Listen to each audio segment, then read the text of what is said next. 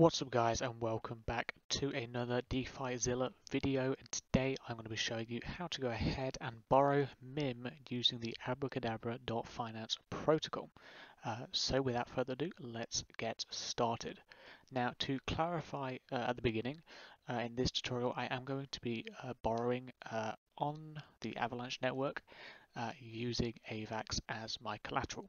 Now, Abracadabra does support a variety of different networks uh, and thus a variety of different uh, tokens uh, to use as collateral. Those uh, processes are all roughly the same as what I'm going to do today. I've just chosen uh, Avalanche and AVAX as my example because it's the easiest to show to you. Uh, but for all these other networks and tokens, these steps will be roughly the same other than you'll be selecting that network and that desired token. So, like all of these videos that are based on decentralized finance, we're going to have to start off with getting a MetaMask wallet uh, set up and ready, which uh, I've already made a video tutorial on, so go check that in the uh, that link in the video description. Um, but you are going to need to set up a MetaMask wallet in order to be able to use all of these websites and protocols. Uh, so if you haven't already, please go ahead and check out that video. Uh, I'll leave a link to this website uh, and to the video that I made the tutorial on down below. You don't want to use my tutorial. Use someone else's tutorial. The important thing is you have a MetaMask wallet uh, installed on your browser. Uh, so please pause the video and go do that if you haven't already. Uh, but if you have got a wallet set up already, uh, great, we can go ahead and get started. So hopefully you've got your MetaMask wallet set up uh, and we're going to have to start off with setting it to the Avalanche network if you haven't already. Uh, if you have, great, skip this step. If not, we can go ahead and add that. So go to a tab and just type in uh, Avalanche Network MetaMask. And here you can see the support.avax.network. Do I set up MetaMask on Avalanche? And you want to scroll down to these specific uh, five key details. Click your MetaMask wallet and click on the uh, network selection at the top. And then you're going to click Add Network. Now, as you can see, here you need to type in your network name, your RPC URL, your chain ID, your currency symbol, and your block explorer, all of which can be found here. Network name, RPC URL, chain ID, symbol, and Explorer. So copy and paste all of these in to this page here, click Save, and you should go ahead and find that the Avalanche network is either up here at the top in your MetaMask wallet, or you can select this and select it from the list. So go ahead and quickly add the Avalanche network mainnet. Uh, make sure it is the mainnet uh, to your MetaMask wallet. Uh, so Hopefully by this point you should have a MetaMask wallet and you should have the Avalanche mainnet set up on that MetaMask wallet. If you've gone ahead and done that, we have to now start uh, actually adding funds to this wallet. Now, you can do that whatever way you want, uh, from whatever exchange you want. Uh, I personally use crypto.com.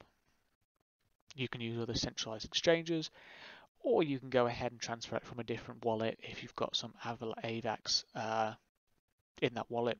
In this tutorial, I'm going to be using AVAX. For now, I'm going to show you how to do it using Binance because it's a easy option to show you using uh, a PC. Uh, so, first of all, you're going to want to type in AVAX and you're going to want to buy some. Uh, this can either be done through spending a fiat currency or you can go ahead and convert uh, crypto into AVAX. But make sure you've got some Avalanche uh, in your Binance wallet. We're then going to click withdraw and it's going to bring up all of these options. Up here you can see we've selected AVAX, which is the coin we're sending, and we can go ahead and paste our address. Now, your address will be found in your MetaMask wallet, here where it says account uh, 1 in my case. You can click it and then go ahead and paste it into the address box. This is the important thing with the Avalanche network. You want to make sure you select AVAX C chain.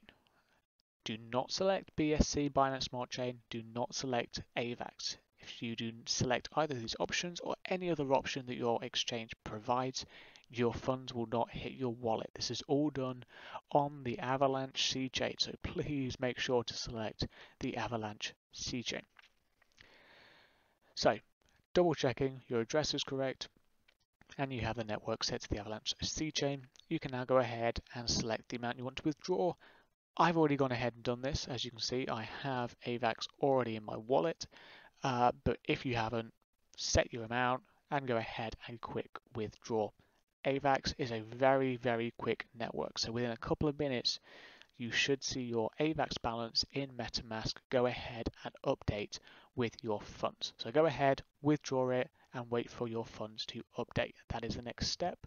Once you've gone ahead and had these funds update, uh, you can go ahead and uh, resume the video and we can continue. So the next step is to finally actually make our way over to abracadabra.money, uh, what this video is entirely based upon. This website lets you go ahead and uh, add collateral to it in order to borrow from that collateral. So you get to borrow money without having to uh, sell off your original position. Reason I am doing this in this case is because I am bullish on Avalanche and want to hold it for the long term. So I'm not planning on selling it, so I might as well lock it up so I can borrow some tokens uh, using that collateral in order to go ahead and earn rewards on that. First thing you want to do, up at the top here, click connect and connect your MetaMask wallet. Mine's already done, so you can see my uh, address up there. Here we can go ahead and select on network. As you can see, there's a few options. We've got Ethereum network, Binance Smart Chain, Fantom, AVAX, AETH, and the Matic network. For this example, we're going to use Avalanche. As I said, different networks, uh, but for this tutorial, I'm going to be using Avalanche. We're now going to head over to the Borrow tab, and this is where we can go ahead and choose our collateral pair. So here we're going to be selecting the AVAX uh, pair which allows us to use Avalanche as collateral, uh, but they also have an AVAX MIM uh, Trader Joe liquidity pool you can use, AVAX USDCE, AVAX USDTE, Wrapped Memo, and XJoe. Make sure in the MIMS left to borrow stage there is enough for you to borrow. The Wrapped Memo is extremely popular because you still earn staking rewards while you're borrowing uh, and adding the collateral which means lots of people want to do it. So at the moment, there is no more MIM left to borrow. So you will have to check, uh, come back and check, uh, or use the official Discord uh, for uh, Abracadabra in order to be notified when they add more MIM to this pool. Because currently, I would not be able to get borrow anything because there's no MIMs left to borrow. But for this example, uh, I'm going to be using AVAX. Um, Reason being, it's a little less volatile, so less likely to be liquidated. And as you can see, there is plenty of MIMS left to borrow. So we're going to click on this. Here we have our general dashboard. As you can see, I've already got some collateral AVAX, the value of that, how much I've already borrowed, and the price of AVAX uh, that I'll be liquidated at, which means my collateral will be sold to cover my loan. Um, we have two tabs, the borrow tab, which is where you go ahead and borrow money, and the repay tab, where you go ahead and repay this. Uh, so let's go ahead and actually borrow some money. As you can see here, it's currently set to wrapped AVAX. Now we can go ahead and wrap it, or we could just select use AVAX and go ahead and let them wrap it for us, which is what we're going to do. So select use AVAX at the top. Now we're not going to go ahead and select max because we need some AVAX left in our wallet in order to go ahead and pay the fees, uh, which is very important. So my rule of thumb is I always leave 0.05 AVAX in my wallet for fees. That's my rule of thumb. You guys can do what you feel comfortable with, but that is what has always served me well and been enough for me to do my general transactions without having to top back up. So I'm going to go ahead and simply use an old-fashioned calculator to calculate. Uh, I might as well go ahead and do this on my computer. So you can see I'm going to use a calculator. So I've got 0.2558 and I want to subtract 0.05. So I'm going to be locking up today 0.2058. So I'm going to go ahead and type this in 2058. That is how much AVAX I'll be locking up. Next, you're going to head and select your liquidation price. Now with this pool, it allows all the way up to 75%. Personally, I use 25%, which means you're borrowing 20% or 25% of the value that you have locked up. So this 0.2 AVAX is worth roughly $20. It's a little bit more, which means if I borrow 25% of that, I get 5.79 MIM, which means 5.79 US dollars. This 25% also means that the my uh, collateral has to drop by 75% before they go ahead and sell it. If I was to raise that liquidation price, I would be able to borrow more MIM, but as you can see, the token would also have to fall less before it gets liquidated. Again, 70%, we borrow more, but that price goes ahead and increases, which of course we don't, personally, I don't want to take the risk. I always set it to 25%. Reason being, still lets me go ahead and borrow. I personally feel like this is enough uh, to earn some okay rewards on. And the chances of AVAX falling 75% is unlikely. It's possible, you have to know the risk you're taking, but it's unlikely.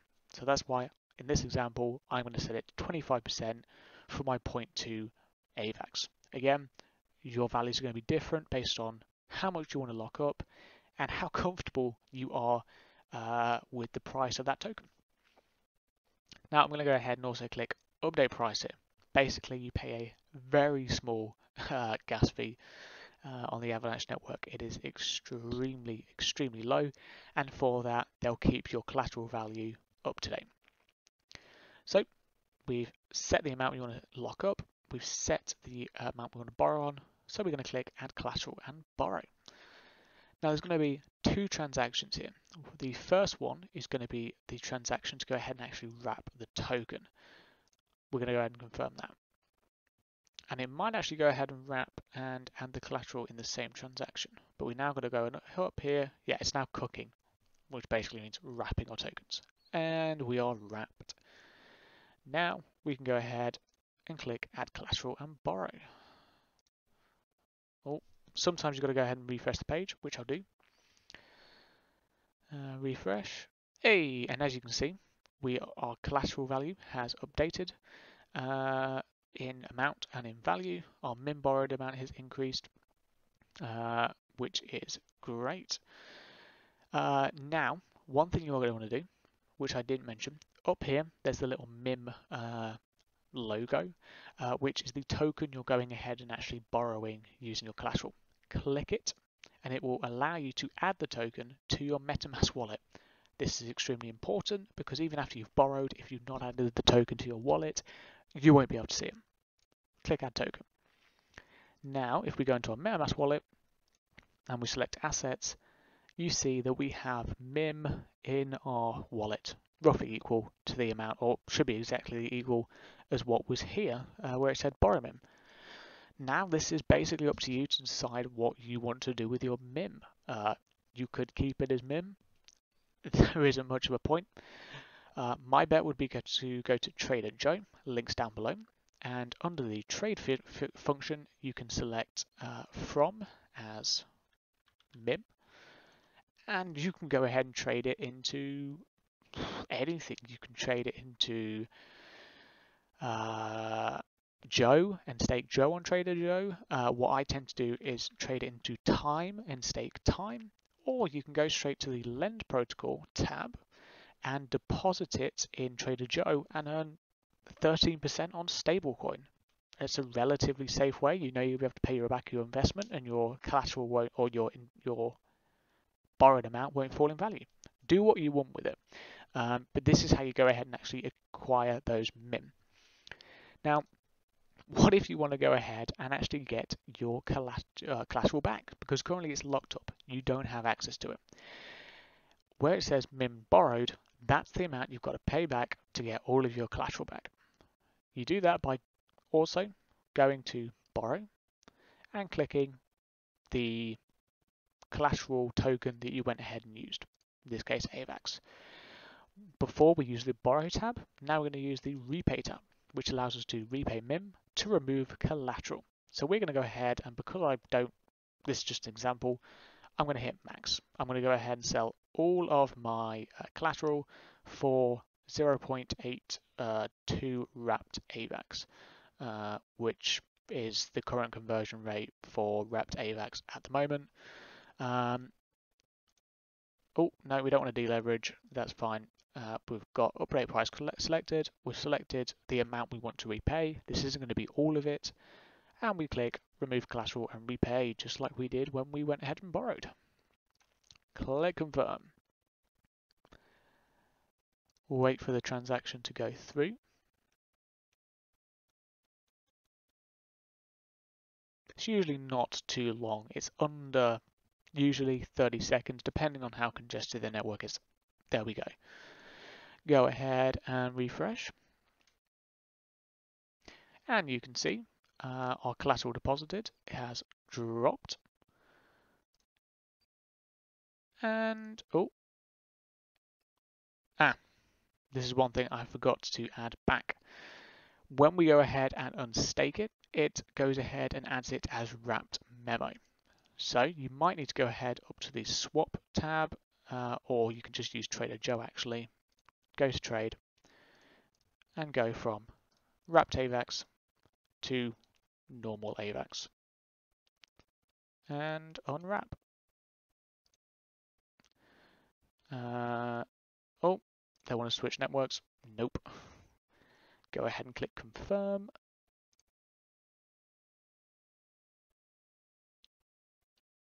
Wait for that to go through.